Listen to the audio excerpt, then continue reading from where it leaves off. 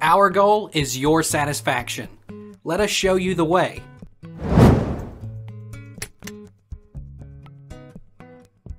Can I get rabies vaccine after a month of dog bite?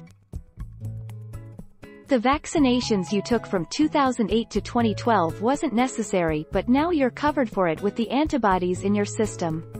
So you needn't worry as you show no symptoms of rabies. Most cases of dog bite, the rabies will occur 20 days to 3 months.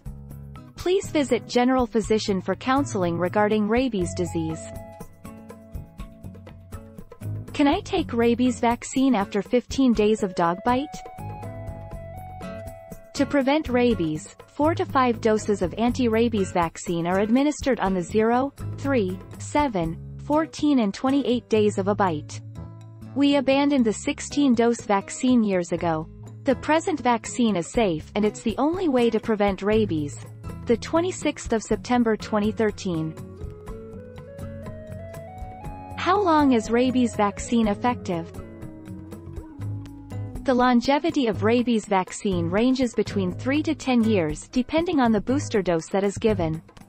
For example, to prevent rabies, rabies vaccinations are given three times, on the day of the first injection and on day 7 and day 21 after the first injection.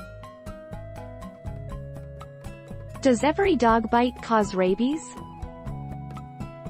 Myth. Rabies is transmitted only by the bite of an animal. Through a scratch inflicted by a dog or an animal if fresh saliva is on the nail that causes the scratch. Airborne transmission of rabies may also occur when handling bat guano or in bat caves. Why do you have to wait 10 days after a dog bite? The 10-day confinement and observation period for dogs and cats that bite humans has stood the test of time as a way to prevent human rabies. This quarantine period avoids the need to destroy the biting dog or cat in order to test its brain for the rabies virus.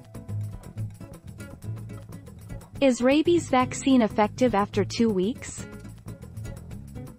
The incubation period of the virus, or the time it takes between exposure to the virus and the first symptoms of the disease, is quite long, on average, about two months. Because the virus has a long incubation period, the rabies vaccine works even though it is given after exposure to the virus.